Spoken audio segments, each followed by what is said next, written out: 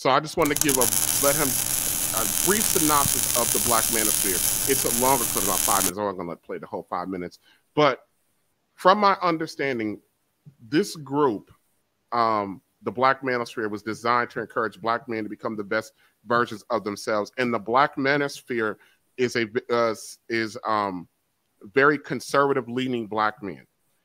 One of the things that we're going to do on my stream is we're actually going to talk about what conservatism actually is because a lot of brothers latch on to conservatism.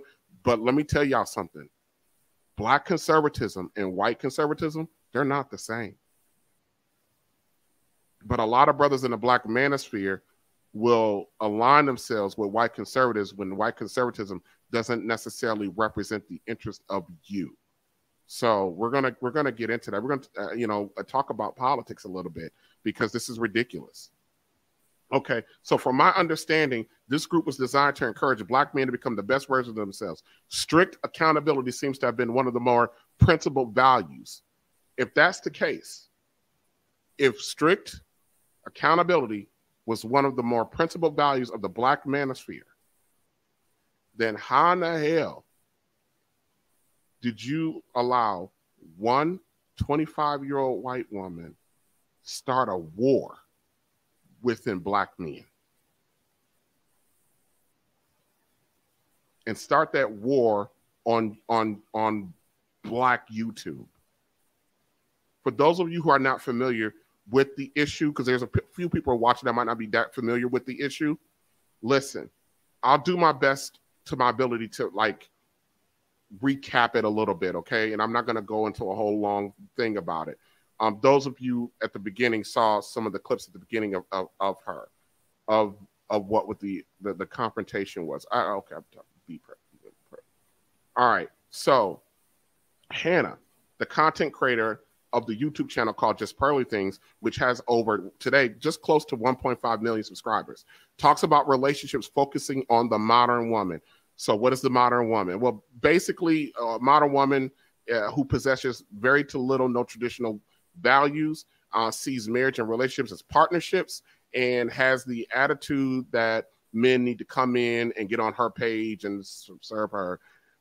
That's kind of a short version of it, but I'm not going to get down into the weeds of that. Hannah's platform mainly focuses on black relationship. Yeah, she has some non-blacks on their show, but she primarily have black women on her her platform addressing these issues and the outcomes of being a modern woman and then these women having the expectation that a man come come in and take them seriously. Many black men in the in the manosphere have gravitated toward the the, the Just Pearly Things YouTube channel because Hannah presents herself as a friendly, feminine, and submissive woman who combats the idea of the modern woman. Just Pearly Things has a large following of men that come out of the black manosphere. I was on the Lapeef Network a few days ago discussing this with one of them, and um, one of the men on the panel stated that the reason why so many black people, well, the reason why so many black men support Hannah is because she earned her black card.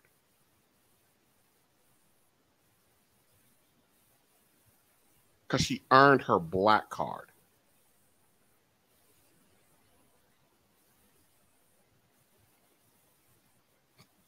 and how did she earn her black card? When she put a guest on the Blue Lapeef Network, B. Taylor, a black woman, B. Taylor, in her place. Let me see. I'm gonna play a few seconds of like Pearl and B. Taylor so you guys kind of know who they are and who I'm talking about. Here you go. His car that you know a bunch of different other stuff. So just you know, absolutely. All right, I'm gonna go to Pearl next on that one. Women should date multiple men at times to explore their options. That, that that's that's not his car. Has that happened to you?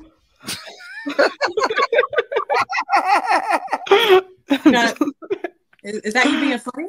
Or was that a genuine? No, question? I was just asking. I've just never heard of that. Oh. no, I was just asking. I've never heard of like he like picks you up in a car. Okay. That's not. Nah, I mean you can answer the question. I'm, I'm I, wasn't to you. I wasn't I wasn't trying to be rude. I was just asking. Um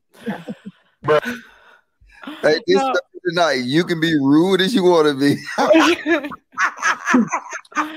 um oh my gosh so wait what was the question no i mean i don't i just feel like men look for loyalty so if you're like dating a bunch of guys at the same time like i think guys kind of want to be like uh, like they kind of like it when your attention is focused on them so i don't know. I, I don't think it's that good to like date multiple people at the same time but like if a guy's not giving you attention to the point that it's like plan a attention you know i think you should probably just find a different guy to date Okay. Round one, fight. it is smart to keep your legs closed. And in today's dating world in 2022 with these type of men they may not be like you. They they, they may not be like you. So therefore these men in 2022 you need to expand your options. Or you're going to be walking around heartbroken you not the men. It's if the, you are it's the trying to talk to a not, dude that is it's winning, go ahead, Pearl. It's not the men in 2022 it's the men you pick one out of three men are either virgins or I have don't pick them. the They come past to me, year. and there's It there's doesn't. Then attraction. you are you guys are what you wanna you you. I, hey, let me finish. Let me finish. You gotta let me Well, finish. you jumped in between a, a conversation. on, y'all ladies, Okay, one at a time. okay. One at a time. Uh, one, No, one in three men. One in three men. One in three men. One in three men are either virgins or they haven't had sex in the past year. So there's a plethora of men that will be faithful to you and won't play these games. They're just not the men you want. Women aren't going to be attracted. Okay, I just showed that to show you a little bit of the interaction between Pearl and B Taylor, and and you get a little bit of a sense of her personality versus B Taylor's personality. So you know, when the fellow on the panel said, told me that Pearl earned her black card because she put B Taylor in her place. Look, I told his brother straight up. I told him, you and men like you are are weak as hell for expecting um, a white woman to come in and do your job.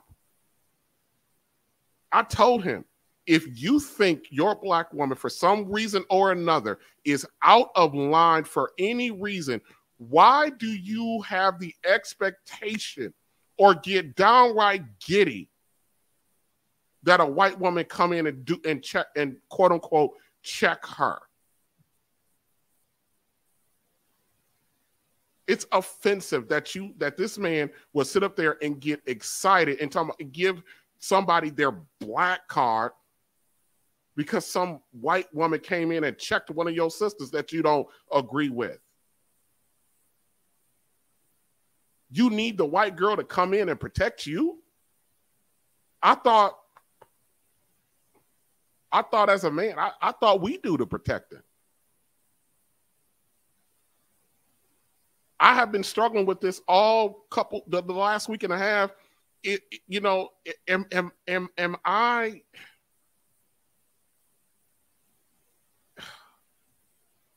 am I witnessing, am, are the men of the manosphere, are they just confirming what a lot of black women think about black men?